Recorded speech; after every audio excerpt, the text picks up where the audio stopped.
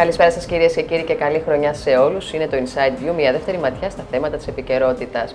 Η υλοποίηση της ηλεκτρονικής εφαρμογής των τραπεζών για το αφορολόγητο βρίσκεται σε εξέλιξη και μέσα στους επόμενους μήνες θα πρέπει να έχει ολοκληρωθεί. Περισσότερα θα μας πει η Βάσο Αγγελέτου. Βάσο, καλησπέρα και καλή χρονιά. Γεια σα, Τέτε, καλή χρονιά.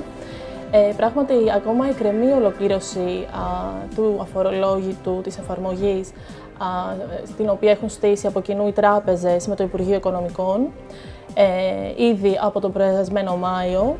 Ο λόγος είναι ότι ακόμη δεν έχει διασφαλιστεί η ακρίβεια των στοιχείων που συλλέγονται σχετικά με τις δαπάνες που κάνουμε, ε, οι φορολογούμενοι, και ο λόγος είναι ότι θα πρέπει να καταθέσουν όλοι οι επαγγελματίες, δηλαδή οι έμποροι, οι ελεύθεροι α, επαγγελματίες, ε, τον, α, τους επαγγελματικούς τραπεζικούς λογαριασμούς, θα πρέπει να τους προσδιορίσουν, να τους δηλώσουν ε, στην εφορία μέσω του TaxisNet.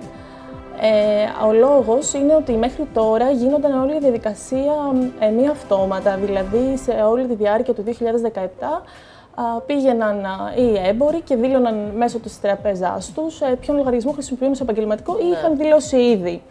Όμως, ε, το, το Υπουργείο Οικονομικών θέλει ουσιαστικά αυτή η διαδικασία να γίνεται με αυτο, αυτοματοποιημένο τρόπο, ούτως ώστε και όλες οι τράπεζες να έχουν τα ίδια στοιχεία στη διάθεσή τους, ε, αλλά και αυτόματα όλες οι μεταφορές που γίνονται διατραπεζικά ή μέσω της ίδιας τράπεζας από το λογαριασμό μας, το e-banking ας πούμε, ε, να θεωρείται δαπάνη, ώστε να εξαιρείται από το φορολογητέο εισόδημα.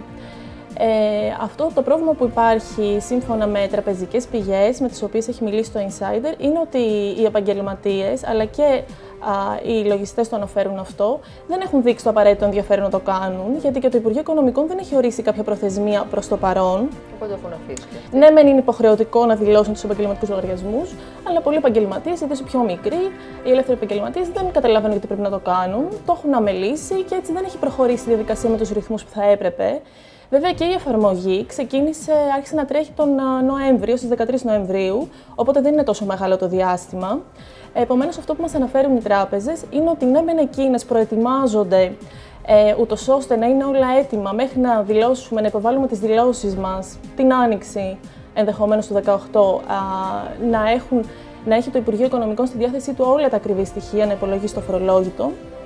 Ε, και προς την κατεύθυνση αυτή αναβαθμίζουν τα συστήματά τους για να επικαιροποιήσουν τα στοιχεία τους και να είναι έτοιμες ε, για την αυτόματη διαδικασία που θα υλοποιηθεί μέσω της Δίας, δηλαδή μόλις ή σταδιακά όσο δηλώνονται ηλεκτρονικοί ή επαγγελματικοί λογαριασμοί, ε, να μεταφέρονται, να μεταβάζονται τα στοιχεία στις τράπεζες, οι τράπεζες να συλλέγουν τα στοιχεία για τις δαπάνες που χτίζουν το φορολόγητο και πάλι ε, να μεταβιβάζονται στην Ανεξάρτητη Αρχή Δημοσίων Εσόδων τα στοιχεία αυτά, τόσο ώστε να υπολογίζονται ε, στο αφορολόγητο που, θα, που προβλέπεται ναι, για το 2017. Οπότε είναι μια διαδικασία σε εξέλιξη, προχωράει και από τις δύο πλευρές, και από το Υπουργείο Οικονομικών και από τις τράπεζες.